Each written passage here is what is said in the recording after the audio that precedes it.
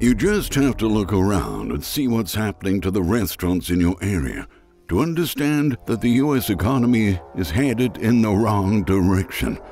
When the economy is booming, restaurants are full and chains open more locations to expand their businesses. But when the economy is struggling, restaurants get increasingly emptier and underperforming locations go belly up.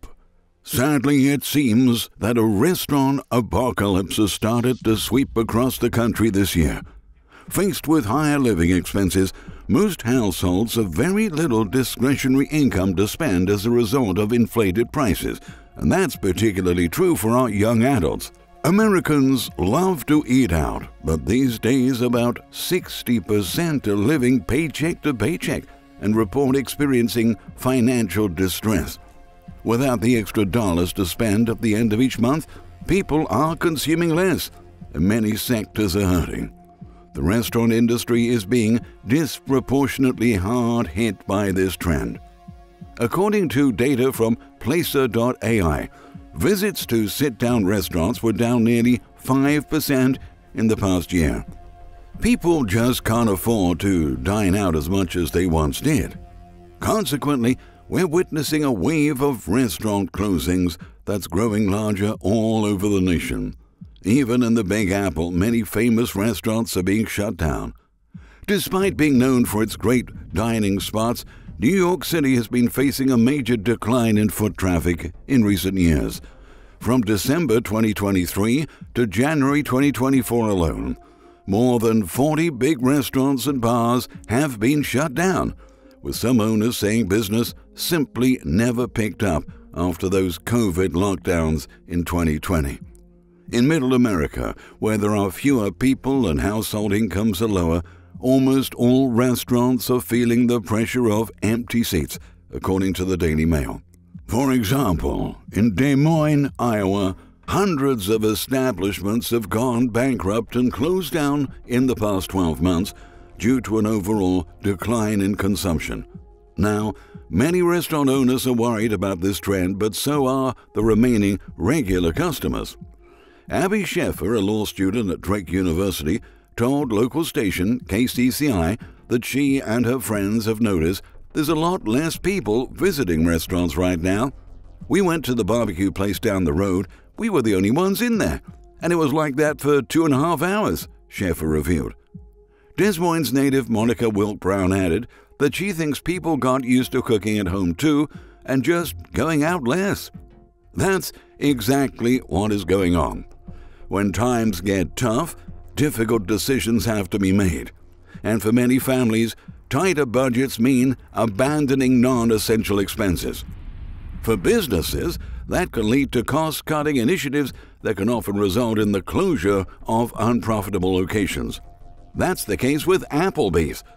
After conducting 46 restaurant shutdowns, the company has decided to close another 35 this year. The American grill chain, famous for its $10 burgers and dollaritas, has made the decision after analyzing the financial performance of the restaurants. Since 2017, the company, which competes with the likes of Waffle House and Denny's, has been shutting hundreds of restaurants. The latest closings were, according to Dine Brands president Tony Moralejo, an incredibly difficult decision and a last resort for the company. Similarly, more Boston Market restaurants will be gone soon. The chain once had nearly 1,000 locations nationwide, but now Boston Market is dying before our eyes. The pace of its demise has picked up over the past few months. Now, with its store count continuing to dip, Boston Market seems to have reached the end of the line. A couple of months ago, owner Jignesh J. Pandya was denied Chapter 11 bankruptcy for the second time and has been barred from filing again for six months. That leaves his company, which faces massive financial obligations, unable to gain court protection from its creditors. The restaurant chain no longer has a headquarters, as it was seized in May 2022 by the Colorado Department of Revenue for over $329,000 in unpaid sales and payroll taxes. It also owes US Foods, its key food vendor, $11 million, and it faces over 140 lawsuits in a variety of state and federal courts over everything from unpaid wages to overdue rent and vendors who have not been paid. It's a bleak picture that keeps getting worse. In March, restaurant business reported that Boston Market chain had dwindled to 27 locations, and that number appears to have fallen again. The current inflation crisis is the primary reason why this trend is accelerating. While consumers have less purchasing power, restaurants are grappling with much higher costs. Jessica Dunker, the president and CEO of the Iowa Restaurant Association, said the reason so many restaurants are shuttering in 2024 is because the cost of goods is up 30% and they're having to shell out higher wages to keep staff on. Dunker also pointed out that many food businesses are struggling to pay back loans they took out during the pandemic. The deals, most of them 30 month deferred loans, were likely necessary when lockdowns were in full swing and restaurants had virtually no customers by force of law. But with foot traffic down across the board, according to Dunker, if restaurants can't pay off their loans, they are forced to close. There is an increase not just in the state of Iowa but across the country in these small independent restaurants just not being able to see what five or ten years can look like in a way that makes business sense, Dunker explained. Unfortunately, things aren't going to get any better anytime soon many food staples are facing significant price hikes, and this will keep restaurants' prices higher for longer. For instance, this week, new reports revealed that we're going to pay a lot more for orange juice from now on. That's because Brazil, the leading global exporter of OJ, is facing its worst harvest in over three decades. This alarming development compounds existing issues in Florida's citrus groves, which have been plagued by disease and are experiencing collapsing production levels to the lowest in decades. Fundecitrus wrote in a note that Brazil will produce 232.4 million boxes, each weighing about 90 pounds, for the growing season this year. And that's a 24% collapse from a year earlier and the lowest production levels in 36 years. Sliding production in Brazil will impact U.S. retail prices at the supermarket in the coming months, considering Florida has yet to stage a significant comeback in production. With the cost of basic ingredients going through the roof, it's safe to say that even fewer Americans will be able to afford eating out on a regular basis. Of course, that is very bad news for the entire industry, even big fast food chains like McDonald's. At one time, serving middle class families was their core business. But this year, middle income earners are being financially wiped out by a series of factors that include stagnant wages and a drop in home equity. The fall in consumer demand is becoming so dramatic that McDonald's is about to introduce a $5 meal deal to the menu in a desperate attempt to lure customers back. The meal includes four items, as reported by Bloomberg and Restaurant Business. Customers will be allowed to choose between two of the chain's signature burgers, a McChicken or a McDouble, and get four piece McNuggets, fries, and a drink. However, the $5 promotion will last for just one month. The discussions about the new deal come two weeks after the fast food giant's first quarter earnings call, where leadership highlighted how customers are increasingly price sensitive. A $5 meal would be a stark drop from current prices, especially in higher cost cities, the Business Insider analysis showed. A meal consisting of the same four items costs $18.26 in downtown New York City.